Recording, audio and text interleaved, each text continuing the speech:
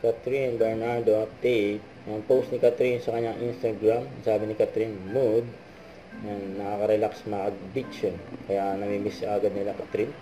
Nasabi ng BFF niya, si Trina, yan, beach please. At si James naman ay tara na. Ang ganda pa nga naman ng view. Diyan sa El Nido, Palawan. Ang birthday ni Catherine. Tapos yan pa, yan, nag-workout din si Catherine. Yung mga kasama niyang nag-workout. Ang pinaganda niya ni Catherine. Kasi endorsement siya ng Century Tuna. Yan pa yan. Kaya kailangan mag-workout ni Catherine. Kaya maganda yung pangangatawan ni Catherine. Yan, ultra box. Kasi yan pa You're naman island girl. You're stranded. yan, sa cover ng magazine sa Mega Magazine. Yeah. But you're not stuck in the feeling we're getting.